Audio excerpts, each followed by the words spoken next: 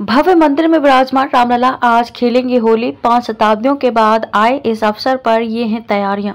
रामानंदी विरक्त वैष्णव परंपरा के अनुरूप रामलला आज मंगलवार को होली खेलेंगे। सामान्य तौर पर होली सोमवार को मनाएगी, लेकिन रामलला की होली चैत्र कृष्ण प्रतिपदा का मुहूर्त उदया तिथि में मिलने के कारण मंगलवार को मनाई जाएगी। ये पहली होली है जब रामलला पाँच शताब्दियों के बाद पुनः गर्मा के अनुरूप भव्य मंदिर में विराजमान हुए हैं। इस विशेष अवसर के लिए व्यापक तैयारी की गई है। मंगलवार को सुबह नियमित पूजन अभिषेक के बाद और शंकर आरती से पूर्व ही रामलला को गुलाल अर्पित किया जाएगा। कचनार के फूलों से निर्मित गुलाल रामलला के विशेष किस्म का गुलाल लखनऊ स्थित बॉटनिकल गार्डन के वैज्ञानिकों की ओर से भेंट किया गया है।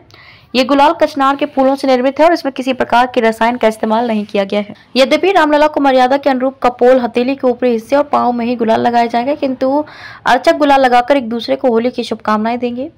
दोपहर राजभोग में रामलला को दाल, चावल, पूरी सब्ज़ी, खीर, गुजिया सहित विविध व्यंजन प्रस्तुत किए जाएँगे। शाम संगीत संध्या के माध्यम से रामलला की होली शिखर का स्पर्श करेगी। रामलला के प्रधान अर्चक आचार्य सत्येंद्र दास के अनुसार होली तो हम हर साल मनाते थे, लेकिन इस बार की होली बिल्कुल अलग है।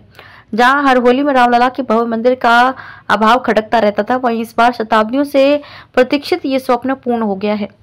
ये अवसर मेरे स्वयं के लिए ही नहीं, करोड़ों राम भक्तों के लिए अवर्णीय है। आचार्य सत्येंद्र दास ने न्यायालय में बाबरी मस्जिद के पक्षकार रहे इकबाल अंसारी के साथ अपने रामघाट स्थित आवास पर रविवार को होली खेल कर सद्भाव का भी संदेश दिया।